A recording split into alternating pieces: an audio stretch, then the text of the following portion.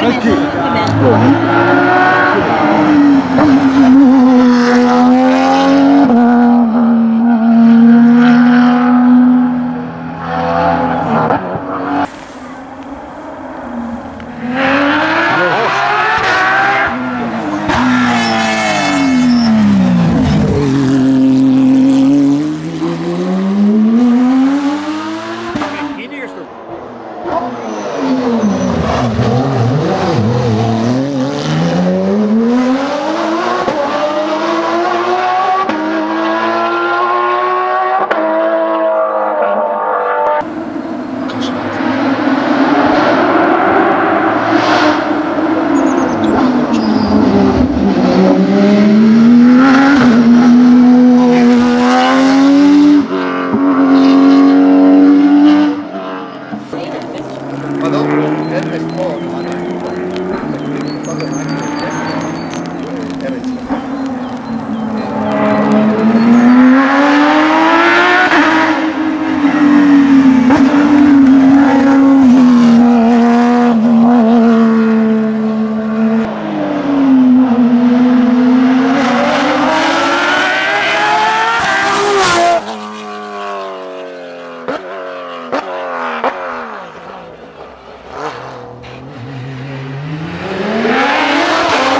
assolutamente applaudire dovesse venire giù anche il diluvio lasciate gli ombrelli perché abbiamo questo esemplare di rara bellezza con il numero 43 la Porsche di Mirko Buricelli e Marco Racing scendi scendi pure dovete scendere tassativamente guai se non vi facessi scendere non me lo perdonerei con questo fantastico attenzione che Andrea eh, bravo bravo Marco l'importanza del navigatore?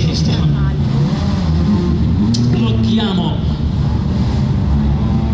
blocchiamo la Porsche qua davanti. Allora, la vittoria di classe era scontata, bastava arrivare in fondo, caro Mirko. Ma io mi sento di parlare a nome di tutta questa folla e di tutti coloro che erano in prova speciale. Io ti voglio ringraziare perché potevi arrivare anche ultimo assoluto, cosa che non è accaduta ovviamente, ma già solo essere presente con questa vettura qui hai fatto un regalo a tutta la Valle Camonica, quindi giuro, ieri sera eh, tutti aspettavano il tuo passaggio, c'è stata gente che quando ha detto non passa la Porsche è andata via, giuro, e quindi questo è un eh, grande attestato di stima, bellissimo il sound, bellissima nuova e tu l'hai guidata davvero bene, complimenti e grazie, grazie davvero. Grazie a Luca, sei sempre gentile, grazie a tutta la gente che c'era sulle prove, mi sono divertito, una grande macchina, molto difficile da guidare, però ci siamo divertiti.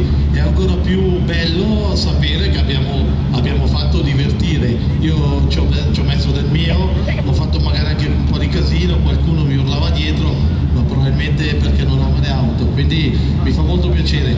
Devo ringraziare eh, infinitamente Marco Menchini perché mi ha aiutato veramente tanto su delle prove piuttosto insidiose con una macchina eh, ultra senza nessun controllo di trazione e la squadra di Max capitanata da Corrado Corti che ieri sera eh, fino not a notte inoltrata hanno sostituito la frizione che ci ha lasciato piedi per questo che sulla seconda prova della season non c'eravamo. Grazie alla Valcamonica e grazie all'organizzazione che è stato come sempre un rally stupendo e meraviglioso. Mi fate sentire l'applauso per questo equipaggio e per la sua